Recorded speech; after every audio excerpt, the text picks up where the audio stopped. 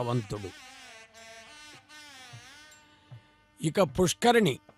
మాయావి పరమానందం జగ్వా వైకుంఠముత్తమం స్వామి పుష్కరిణి తీరే రమయా సహమోదతే అన్నట్లు. ఇదిగో గరుడ వాహనం మీద స్వామి వైభవోత్సవ మండపంలో నీరాజనం అందుకున్నాడు. గరుడ వాహన గోవిందా గోవిందా. నీరాజనంలో ఉండేటటువంటి విశేషం ఏమంటే జ్ఞాన ప్రదీప్తమైనటువంటి దివ్య జ్యోతి స్వరూపుడైనటువంటి భగవంతుడు. అజ్ఞానం అనేటటువంటి చీకటిని తొలగించి ఆధ్యాత్మిక విజ్ఞానంతో కూడిన విజ్ఞానం అనే వెలుగును అందించేటటువంటి మహానుభావుడు. అన్నమాచార్ల వారు అంటారు గరుడ వాహనం మీద స్వామిని దర్శిస్తూ కంటిమి నేడిద గరుడా చలపతి ఇంటి వేలుపగు ఈశ్వరుడితడే అని. ఓ వెంకటాచలపతి నీవు గరుడ వాహనం మీద వేంచేసి గరుడాచలపతి అని పిలిపించుకుంటున్నావు కదా అని గరుడ వాహనం మీద స్వామిని దర్శించిన భక్తులు ఆనంద పారవశులు అందులో శనివారం రోజున గరుడ వాహనం మీద స్వామిని దర్శించడం చాలా విశేషమై చెప్పుకోదగినటువంటి వైభవం. ఎందుకంటే నమ పన్నగనద్ధాయ వైకుంఠ వశవర్తినే నిత్యసూరులైనటువంటి అనంతగరుడ విశ్వక్సేనుల్లో గరుడు గరుత్మంతుడు ఒక విలక్షణమైనటువంటి స్థానాన్ని పొంది స్వామికి వాహనమై విరాజిల్లుతున్నాడు. తదుపరి హనుమద్ వాహనంపై వెంకట రాఘవుడుగా స్వామివారు దర్శనమిస్తూ ఉన్నారు. చక్రవర్తి తనుజాయ సార్వభౌమాయ మంగళం అంటారు. ఇక హనుమంతుడి గురించి ఆంజనేయ వరద గోవిందా గోవిందా అని వేడుకుంటూ హనుమంతుడి గురించి మనం ప్రస్తావన చేసుకోవాలంటే శ్రీరామచంద్రుడు అంగుళీయకాన్ని హనుమంతుడికి ఇచ్చాడు జానకీదేవి అన్వేషణ సమయంలో.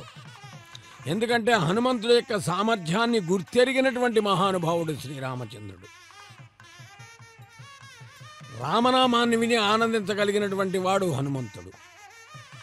అందుకనే వాల్మీకి మహాకవి హనుమంతుడి యొక్క దివ్యమైనటువంటి పాత్రౌచిత్యాన్ని వైలక్షణ్యాన్ని విలక్షణంగా అనుసంధానం చేస్తూ కిష్కింతాకాండలో హనుమత్ ప్రవేశం చేయించాడు. సుగ్రీవ సచివుడుగా. తరువాత వచ్చిన సుందరకాండ అంతా కూడా హనుమంతుని చుట్టే పరిభ్రమింపజేశాడు. అందుకనే సంపాతి వచనంతో జగన్మాత భూజాత సకల సద్గుణోపేత సీతామాత లంకానగరంలో ఉన్నదని నిశ్చయించుకొని సముద్రాన్ని దాటి వెళ్ళి లంకా నగరంలో ప్రవేశించి లంకిణిని సంహరించి జానకీదేవి దాడ తెలుసుకుని జానకీదేవి యొక్క యోగక్షేమాలు తిరిగి వచ్చి రామచంద్రుడికి చెప్పినటువంటి పరమ భాగవతోత్తముడు సిరియ తిరుగుబడే అని పిలువబడే హనుమంతుడు. తదుపరి శేషవాహనం. అదివో శేషాద్రి సోపానము. కలియుగ వైకుంఠ పురమార్గము అన్నారు. శేషవాహన గోవిందా గోవిందా.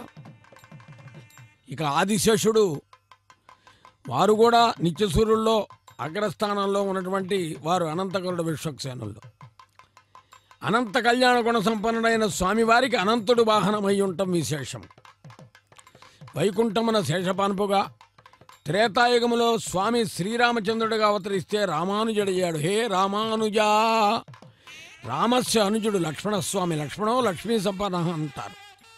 ఎటువంటి సంపదను కోరుకున్నాడు లక్ష్మణస్వామి?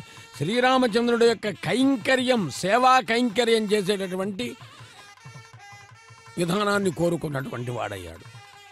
తరువాత ద్వాపరయుగములో కృష్ణాగ్రజుడై బలరాముడుగా విరాజిల్లాడు.